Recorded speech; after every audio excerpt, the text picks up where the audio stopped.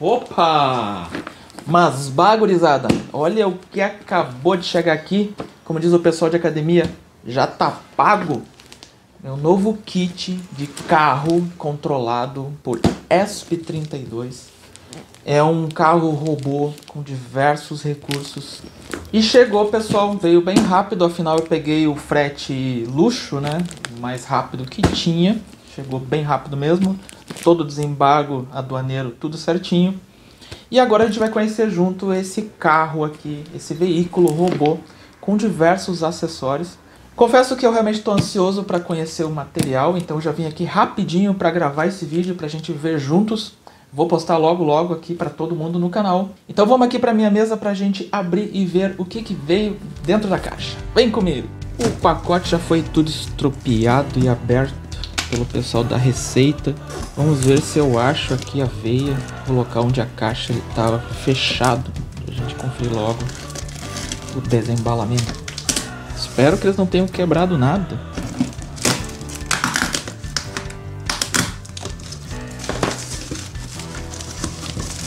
Rapaz, a caixa ela é grande, o princípio está bem reforçado. Temos uma caixa, outra caixa,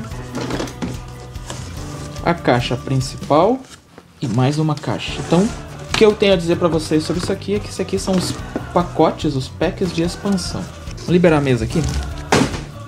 Então esse aqui é o kit principal, o kit da Acebot QD01. Esse aqui é o kit básico que vem com esse nosso carro tração nas quatro rodas, com rodas do tipo Mecanon. Ele serve para aqueles projetos clássicos de seguidor de linha, desvio de obstáculo. Muito legal também que eu vou mostrar mais adiante, controle de por infravermelho pela web ou por um app. Quem já acompanha aqui o canal já viu outros vídeos de review de outro kit que eu comprei desta mesma marca e o aplicativo deles é muito interessante e ele vai funcionar também para esse carrinho aqui. E ele é controlado então por um ESP32. Vocês podem ver aqui que o pessoal já fez o trabalho de rasgar os plásticos aqui, então já dá para ver o que tem aqui dentro, né? O que, que mexeram, um papel aqui, ah, uma cartinha, muito bom. Aqui tem a lista de itens que acompanha esse pacote. Tem uma história nova com personagens novos que a gente tem que cumprir algumas missões. E olha só a quantidade de peças que tem aqui na nossa caixa. Temos um módulo infravermelho. Olha a qualidade dessas placas, desses módulos, pessoal. Esse acabamento aqui, ó, esse silk é muito legal. Esses contatos em dourado também que ajuda a dar uma durabilidade muito maior. Módulo LED azul. Módulo Buser para som, para a gente fazer a sonorização. Não podia faltar o módulo sonar ultrassônico HCSR04, mas aqui fabricação deles também. Aqui um módulo seguidor de linha com três sensores de refletância. Essa quantidade aqui de sensores infravermelhos torna ele muito mais preciso e por isso muito mais recomendado para desafios e competições. Outro módulo LED azul. O módulo de controle remoto para a gente fazer o controle por infravermelho. Eu tenho aqui um monte de pinos e parafusos para fazer a montagem da estrutura. Aqui eu tenho as chaves, que são clássicas desse kit, para também fazer as montagens. Cabos jumper do tipo Premium, aqui são do tipo FF, já vem prontos para conexão. Aqui eu tenho então a placa de expansão para conectar tudo isso, não precisar ficar usando protoboard. Vamos dar uma olhada aqui, gente. Eu gosto muito de placas de expansão, olha só, driver de controle dos motores, Aqui já tem os sockets, já tem o sistema de controle de tensão também, tudo na mesma placa. E ela é conectada, é uma shield para colocar num Arduino tipo Uno. Mas esse aqui, ele é um adaptado, na verdade ele é um ESP, um ESP32, com a carcaça de um Arduino Uno. E olha só que lindeza essa placa, gente. Olha a qualidade do silk, do acabamento e das soldas, soldas brilhantes. A conexão é USB tipo C e aqui o nosso poderoso ESP32 já com também bastante pinos aqui para fazer conexão, sem precisar de protoboard. Mas no nosso caso, a gente vai ainda facilitar, vai ter todo o sistema de potência dos motores aqui em cima e, de novo, só conectar aqui os sensores e tudo que precisa. Tô doido para ver isso aqui programado funcionando. Aqui tem um cartão, algumas instruções, como encontrar e fazer download do material dos tutoriais.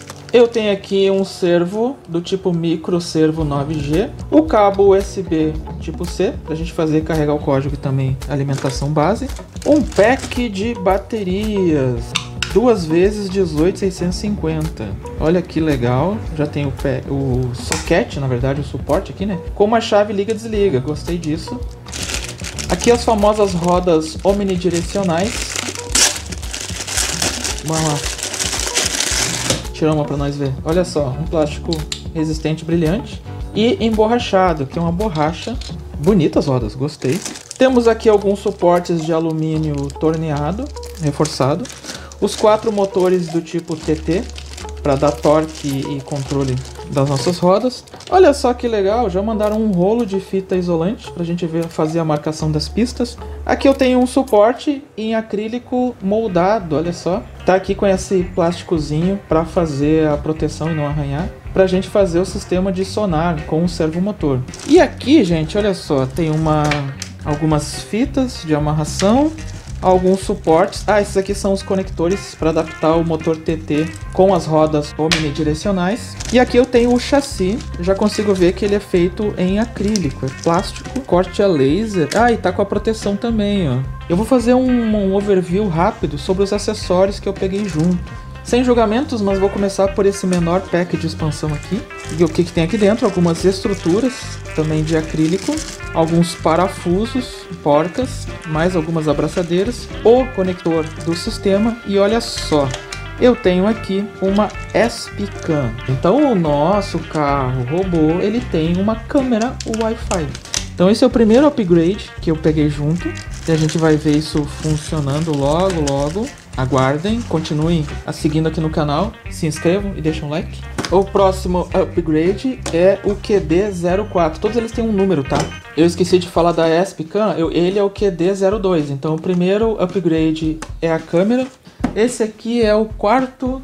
Esse aqui seria o quinto. Tem outros, tá, gente? Mas eu não consegui pegar dessa vez. Questões orçamentárias, né? Mas existem outros de expansão. Vamos ver o 4. Tan, tan, tan, tan. Olha só, esse upgrade são esteiras. Colocar o modo esteira no nosso carro robô. É plástico, mas eu estou observando aqui, ó, bem legal. Tem uma certa resistência, é rígido. Aqui as polias. E olha só isso, gente. Aqui são as esteiras. Também são em plástico, né? Não tem borracha aqui, mas isso aí é uma coisa que se resolve. Para tração em terreno não liso, deve resolver muito bem. E aqui o kit de expansão QD05, ele na verdade é uma parte bem interessante. Eu não sei se vou conseguir mostrar para vocês tão cedo aqui no canal. E para que, que serve isso? Para a gente colocar alguns tipos de mecanismo tipo braço em cima do nosso carro robô. Como eles são uma estrutura um pouco mais pesada, envolve braços e outros mecanismos, a gente usa esse servo aqui do tipo MG995 Power Tro. E aqui que vem uma parte chata, tá? Um dos mecanismos de expansão que eles têm no kit é justamente um sistema de tiro. Então é um cannon, né? É um canhão pra gente fazer tiro. Inclusive aqui tá o óculos de proteção que ele vem junto. Dessa vez, gente, eu não dei sorte porque eu tinha que fazer uma papelada lá e não tinha agora nesse momento condições de fazer essa papelada para poder importar esse tipo de é, brinquedo. Mas eu já tenho parte dele aqui, eu vou dar um jeito no futuro. Conto com as orações de vocês para que eu consiga trazer mais adiante, além de trazer outros acessórios que tem aqui nesse kit. Então, que recursos será que ele tem? Onde ele vive? Do que ele se alimenta? É isso que veremos aqui e agora no Aplicar Repórter. Vem comigo!